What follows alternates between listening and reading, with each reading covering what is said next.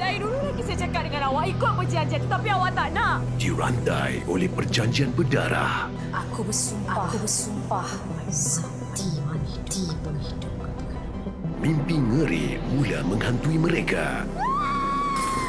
Dapatkah ikatan terlerai atau nyawa bakal tergadai? Bisikan syaitan.